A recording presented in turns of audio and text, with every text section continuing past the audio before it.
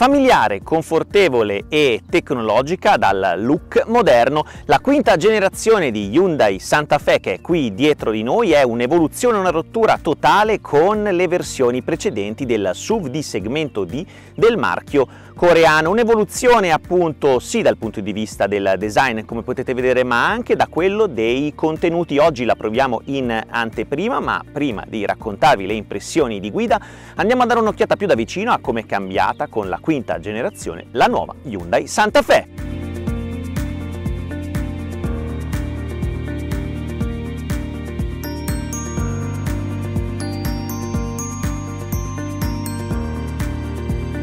E appunto vi parlavamo dello stile, del design, ma partiamo prima dalle dimensioni. Sì, perché la nuova Hyundai Santa Fe non è cresciuta di tanto, ma comunque c'è una piccola differenza ricavata anche e in particolare grazie a quelli che sono gli sbalzi ridotti come potete vedere dalla vista laterale a lunghezze di 4,83 m, pochi centimetri in più rispetto al passato, mentre il passo è di 2,81 m per un'altezza di 1,73 m e una larghezza di circa 1,90 m. Appunto sono stati ridotti gli sbalzi con le ruote che sono state spinte al limite del pianale, mentre lo stile è molto distintivo già nella firma ottica al frontale con questa eh, firma luminosa a forma di H che richiama appunto il marchio di eh, Hyundai con questo fascione centrale eh, con la trama a nido d'ape sovrastato dal logo del brand e un tema d'H che ritorna anche nel eh, paraurti nella parte bassa come potete vedere dove trova posto anche la targa. Lì sotto invece ci sono dei flap aerodinamici che vanno a contribuire a quello che è un CX di 0,29 un risultato davvero molto interessante per una vettura di queste dimensioni, mentre sulla vista laterale c'è un alleggerimento di quello che è il design grazie anche ad un tetto sospeso eh, molto molto caratteristico e un montante C molto importante che va anche a sottolineare quello che è ehm, le forme massicce di questo modello. Con questi passaruota invece che a contrasto vanno ad abbracciare cerchi che vanno da 18 a 20 pollici. Passando invece al posteriore c'è una delle grandi novità vale a dire il portellone eh, piatto dove ritroviamo appunto quella che è la firma luminosa ad H nella parte bassa con ehm, quest'ultime eh, le fanallature che sono state spinte più eh, in basso appunto per garantire anche un'apertura maggiore del portellone che ora vi facciamo vedere. Qui invece ritroviamo poi ovviamente il lettering del modello si apre in maniera elettroattuata e va a eh, restituirci uno spazio di carico di 711 litri che possono diventare 2032 addirittura abbattendo le sedute della seconda fila con la divisione 60-40 ma qui su questa versione ci sono anche le altre due sedute perché vi ricordiamo Hyundai Santa Fe è disponibile in due versioni da 5 e da eh, 7 posti con la possibilità appunto di avere per chi siede anche nella terza fila tutte le comodità da eh, portabibite ovviamente alle prese USB-C e anche la 220 oltre alla regolazione del clima per eh, offrire appunto anche ai passeggeri posteriori tutti quelli che sono eh, gli elementi di comodità per un viaggio più che confortevole. Il comfort appunto viene espresso anche all'interno dove c'è un'altra importante novità, tante altre importanti novità dal punto di vista eh, del design appunto dietro al eh, volante debutta anche sulla quinta generazione di Hyundai Santa Fe il eh, Panoramic Surround Monitor che integra due schermi, entrambi da 12,3 pollici per il sistema di eh, infotainment appunto e ovviamente per il quadro strumenti digitale. Poi c'è un altro schermo qui sotto da 6,6 pollici invece per la regolazione della climatizzazione e eh, con alcuni pulsanti anche per l'intrattenimento musicale che tra l'altro su questa versione con il pacchetto Calligraphy è Bose ha 12 altoparlanti, mentre eh, la console centrale che è stata rivista offre ovviamente la possibilità di caricare eh, la smartphone con l'USB-C, ci sono anche le sedute raffreddate e eh, riscaldate, mentre qui ci sono due piastre per l'alloggiamento della, dello smartphone e per eh, la sua ricarica ovviamente a induzione. Qui invece c'è un'altra importante novità, vale a dire un alloggiamento UVC per la sterilizzazione eh, di materiali, un elemento che è stato pensato nel 2020 quando appunto la pandemia era in corso e che eh, offre una possibilità di sanificazione ulteriore per chi utilizza la vettura. Ci spostiamo ora Ovviamente prima di spostarci al posteriore un secondo solo vi facciamo vedere che anche in questo caso eh, la leva selettrice delle modalità di marcia è stata posizionata direttamente sul piantone dello sterzo come su tutti gli ultimi modelli del brand coreano, sul pacchetto Calligraphy poi un'altra cosa eh, disponibile è l'EDAP display.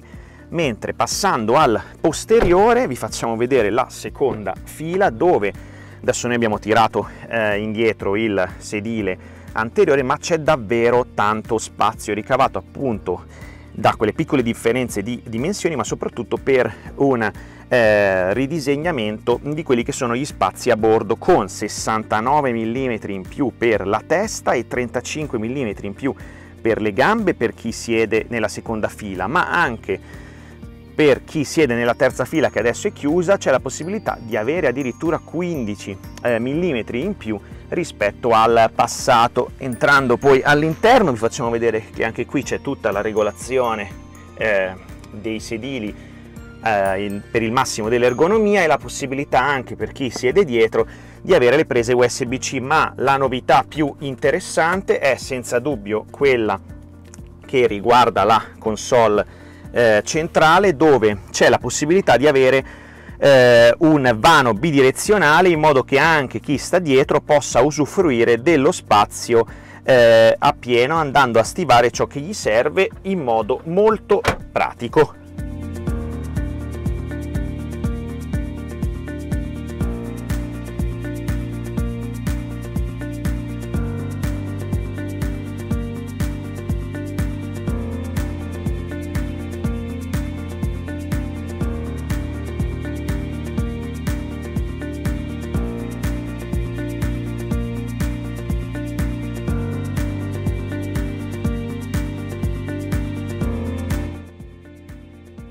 L'offerta delle motorizzazioni di nuova Hyundai Santa Fe è molto semplice, al momento è disponibile soltanto il full hybrid. In un secondo momento poi verrà introdotta anche una powertrain plug-in hybrid, ma eh, ad oggi è disponibile appunto soltanto la versione HEV per una motivazione ben precisa, vale a dire che l'analisi eh, di mercato portata avanti dal marchio coreano eh, ha sottolineato come il segmento di generalista stia crescendo sempre di più appunto su questa motorizzazione elettrificata e la volontà del brand è quella di spingere sempre di più su questa soluzione nonostante comunque il diesel eh, rimanga una fetta di mercato importante. Il gasolio appunto su questa vettura non verrà offerto e per questo momento ci troviamo al volante della versione full hybrid che sfrutta un motore 1600 GDI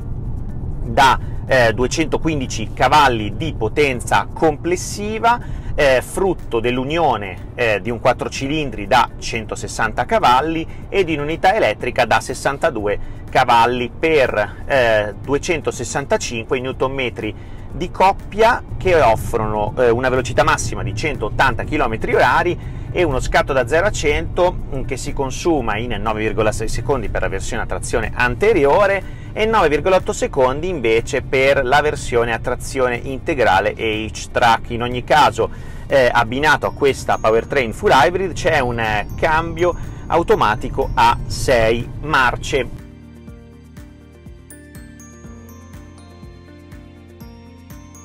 Il brand coreano ha lavorato innanzitutto sul comfort, come vi anticipavamo in precedenza, anche per quel che riguarda ovviamente le sensazioni di guida, quindi c'è un'ottima insonorizzazione dell'abitacolo, sia per quel che riguarda eh, il rotolamento degli pneumatici, sia per quel che riguarda ovviamente il propulsore che anche quando si va a premere un po' più con il piede sull'acceleratore offre un'ottima spinta un'ottima brillantezza ma non eh, va a riempire l'abitacolo di un rumore fastidioso.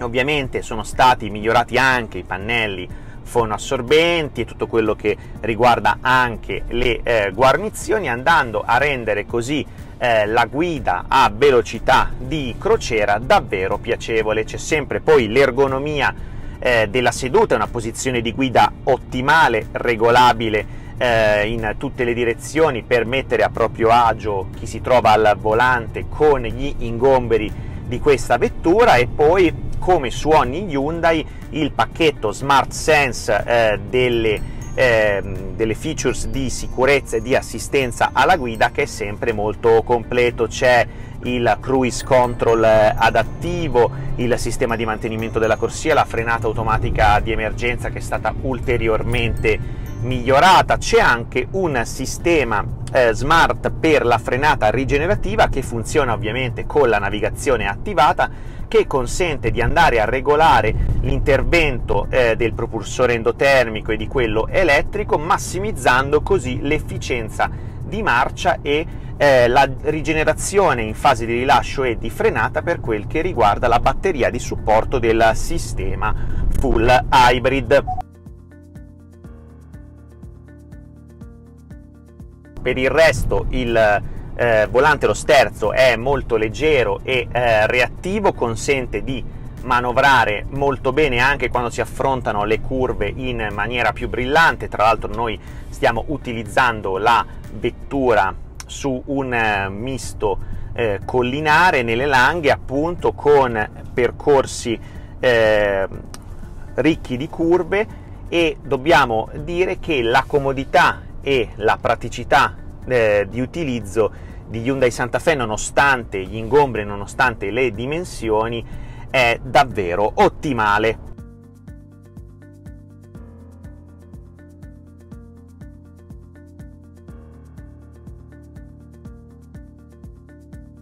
Ottima poi è anche la visibilità, merito delle ampie vetrature lungo le fiancate, ma anche con i eh, sottili montanti anteriori, consentendo così di avere un'ottima eh, visibilità, ma allo stesso tempo anche un'ottima illuminazione naturale all'interno dell'abitacolo. Buona poi anche la percezione materica con eh, rifiniture soft touch per quel che riguarda eh, parte degli interni delle portiere un giusto mix con le plastiche rigide che non vanno a scricchiolare e quindi contribuiscono a quel comfort acustico di cui vi parlavamo in precedenza. Nel complesso dunque con Hyundai Santa Fe nel complesso dunque con questa quinta generazione di Hyundai Santa Fe il marchio coreano ha fatto un ulteriore passo in avanti rafforzando un modello storico che in 24 anni di onorata carriera ha eh, offerto al mercato una certezza, una certezza appunto che il marchio coreano ha voluto ulteriormente sottolineare con questa rinnovata versione all'insegna di tecnologia, praticità e ovviamente comfort.